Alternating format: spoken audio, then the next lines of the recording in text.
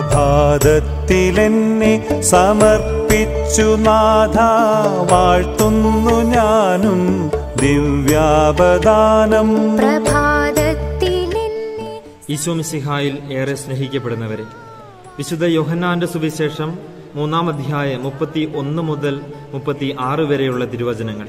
ഉന്നതത്തിൽ നിന്നുള്ളവൻ എല്ലാറ്റിനും ഉപരിയാണ്.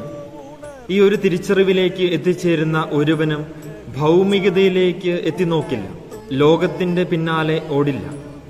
ഉപരി നന്മ തേടി ഓടുന്ന മനുഷ്യൻ ഉന്നതത്തിൽ നിന്നുള്ളവനേക്കാൾ വലിയവയാണ് ലോകത്തിലുള്ള പലതുമെന്ന് ചിന്തിച്ച് അതിന് പിന്നാലെ നെട്ടോട്ടമോടുന്നത് നമ്മൾ കാണുന്നുണ്ട്.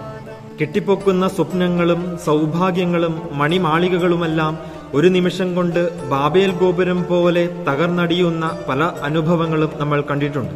സ്വന്തം കഴിവിലും സമ്പത്തിലും ആൾബലത്തിലും വിശ്വസിക്കുന്നവന് ലഭിക്കുന്നത് ലൗകികതയുടെ നൈമിഷിക സൗഭാഗ്യങ്ങൾ മാത്രമാണ്.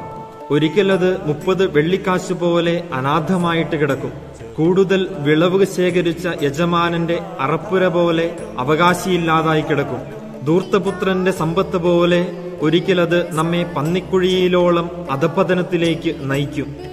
എന്നാൽ ദൈവപുത്രനിൽ വിശ്വസിക്കുന്നവന് ലഭിക്കുന്ന സൗഭാഗ്യം എന്ന് പറയുന്നത് സമ്പത്തോ ആൾബലമോ സുഖഭോഗങ്ങളോ അല്ല. അതിനും ഉപരിയായിട്ടുള്ള നിത്യജീവനാണ് എന്ന് ഓർക്കുക.